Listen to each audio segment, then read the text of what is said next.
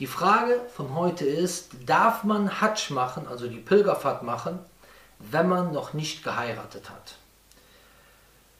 Es ist leider so, dass es viele Aussagen gibt, die verbreitet werden, die absoluter Schwachsinn sind, die mit der Realität des Islams nichts zu tun haben.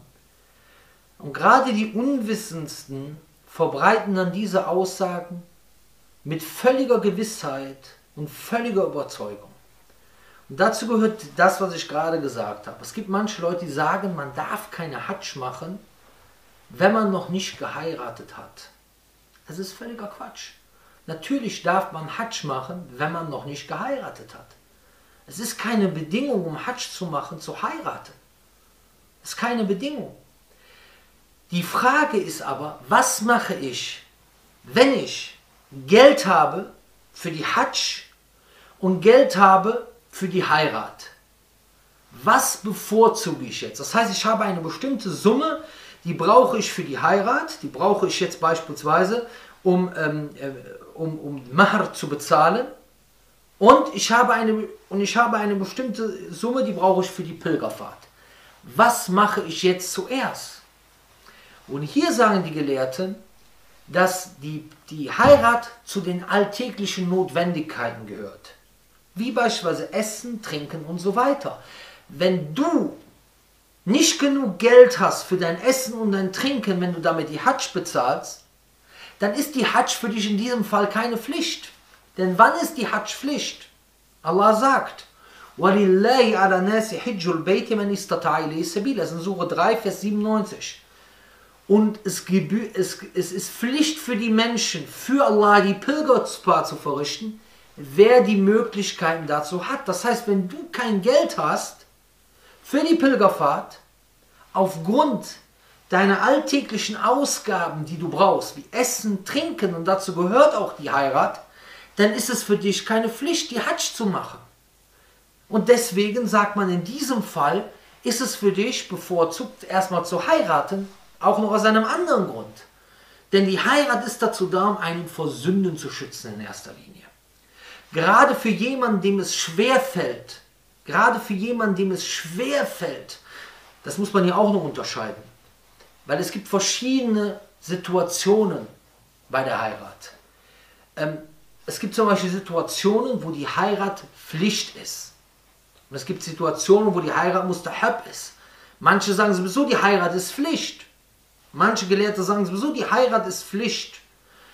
Aber im Allgemeinen ist die Heirat Pflicht, wenn man Angst hat, ansonsten in Sinne reinzufallen, in Unzucht reinzufallen.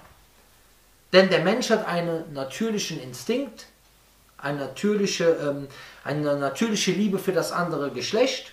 Und wenn er Angst hat, in, in die Sünde hineinzufallen, ist was ist der Schutz für ihn? Die hat, äh, äh ist der Schutz für ihn die Ehe. Die Ehe ist der natürliche Weg, diesen Instinkt, diese Gelüste auf eine Art und Weise, die halal ist, die erlaubt ist, zu, ähm, zu stillen. Seine Gelüste zu stillen auf eine Art und Weise, die halal ist. Das heißt, in diesem Fall ist die Heirat für dich Pflicht und du hast keine andere Möglichkeit und du hast nicht das Geld, beides gleichzeitig zu machen. Also bevorzugst du erstmal, bevorzugst du erstmal die Heirat, äh, bevorzugst du erstmal die Heirat, weil das zu deinen täglichen Daruriyat gehört. Das andere ist, Warum gehst du zur Pilgerfahrt? Du gehst zur Pilgerfahrt, um dich von den Sünden zu reinigen und eine Säule des Islam zu erfüllen und deinen Iman zu stärken.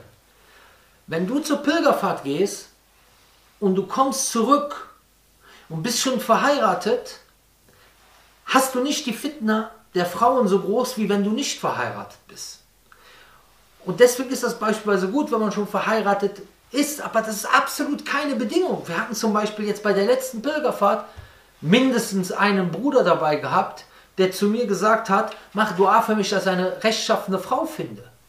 Sollen wir jetzt sagen, ja, nee, nee, du darfst gar nicht mit zur Pilgerfahrt, weil äh, äh, du hast ja keine rechtschaffene, äh, du hast noch nicht geheiratet und es könnte sein, dass du danach in Sünden fällst. Das ist auch so ein Quatsch, der erzählt wird. Ja, wenn man danach, nach der Pilgerfahrt Sünden macht, dann sind die Sünden doppelt so groß. Das ist alles so ein kultureller Quatsch, der mit der Religion des Islams nichts zu tun hat. Hatu burhanakum in kuntum sadiqin.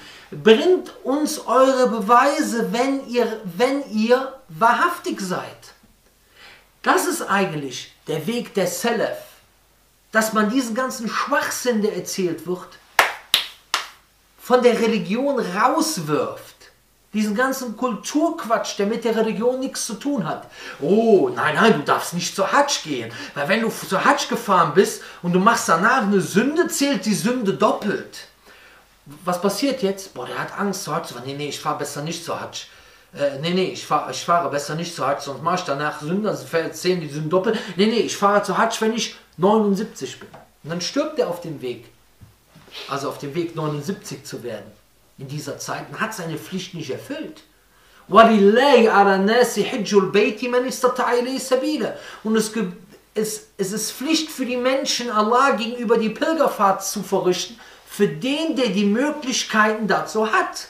Das heißt, wenn du die Möglichkeiten dazu hast, das Geld dazu hast, gesund bist, dann ist es, dann ist es für dich Pflicht, dahin zu fahren. In diesem Moment. Und die stärkste Meinung ist Al-Fawr sofort, wenn die Möglichkeit dazu kommt. Das heißt, wenn die Hatsch-Monate eintreffen. Und dass man es nicht noch in andere Jahre verschieben darf. Was einige Gelehrte sagen, wie der Schafi'itische Madhab, Wallahu alam. Aber darum geht es ja nicht. Und dann die andere Sache ist, durch die Hatsch wird dein Iman gestärkt.